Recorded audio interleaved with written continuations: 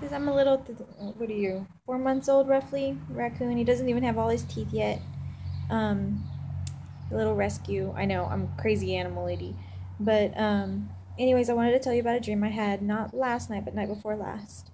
Um, I can tell you about my dream last night too, because I did see like what I thought was a stairway to heaven um, from the side, um, and that you would walk up it, and it looked like it would take you forever to walk up, but you were there in like mm, five minutes. Like um, it went by really quickly.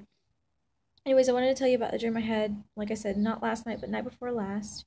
Um, I was on the beach, and there was um, we knew these crabs, like these very large red crabs, were coming from Russia. And I don't know if the crabs were symbolic of communism, seeing as how they were red. And I knew specifically they were coming from Russia. And they were there was an asteroid also coming towards the Earth into the atmosphere. And if it, the, the crabs were kind of our sign was if the asteroid entered our atmosphere, the crabs would not come to shore.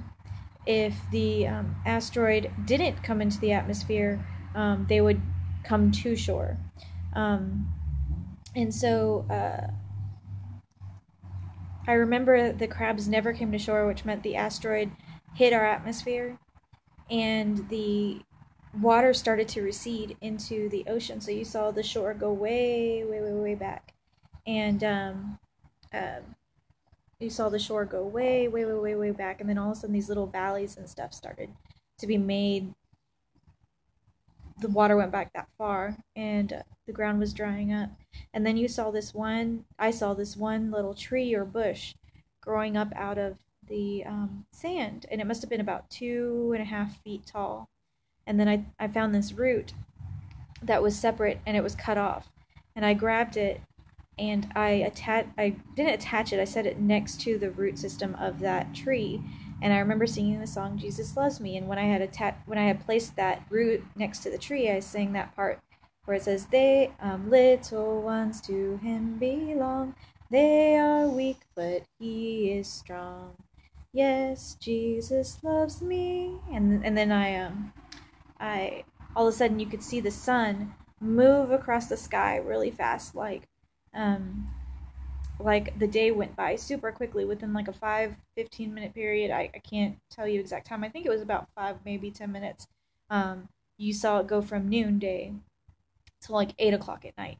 Um, and that's and it was just significant of how this asteroid was affecting um, the times um, as we know it here on earth but i thought i would tell you about that little dream and introduce you to little roper here um, he purrs. He's very sweet. Let me see if I can make him purr. Hold on. Um, you're. I'm just gonna mess up the camera view, but let's see if we can make him purr. Hold on. Let's see. Come on. You gonna purr? Hmm? You gonna purr? You are, just not very loud right now, huh? Okay. Anyways, I think he's all purred out. but, um, yeah. Mm. Very sweet. Hi. Say hi. Say hi, YouTube. Hi, brothers and sisters. Hi.